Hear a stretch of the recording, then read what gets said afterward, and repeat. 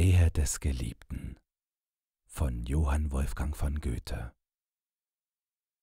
Ich denke dein, wenn mir der Sonne Schimmer vom Meere strahlt. Ich denke dein, wenn sich des Mondes Flimmer in Quellen malt.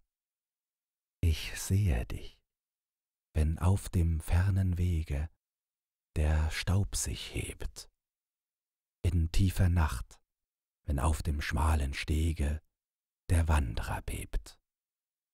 Ich höre dich, wenn dort im dumpfen Rauschen die Welle steigt.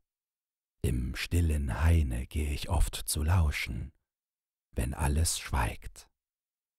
Ich bin bei dir, du seist auch noch so ferne, du bist mir nah.